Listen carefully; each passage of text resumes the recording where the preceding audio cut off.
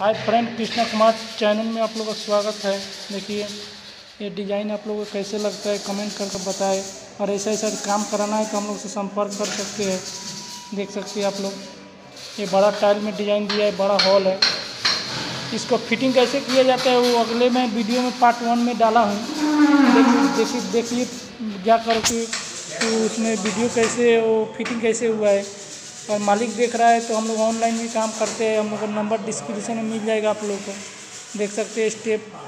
हम लोग अच्छा काम करते हैं, क्लियर, ऐसा बात नहीं ब्रेन लोन अच्छा काम कराना है तो हम लोग से संपर्क करें। और ख़राब कराना है तो नहीं नहीं बोले। ऑनलाइन भी हम लोग काम मिलता है तो बड़ा बड़ा साइड मिलेगा तो करेगा। नहीं है तो देख देख सकते हैं, पूरा बॉर्डर का, उधर का, इधर का ज्वाइन मिला है। देखिए। देख सकते हैं आप लोग।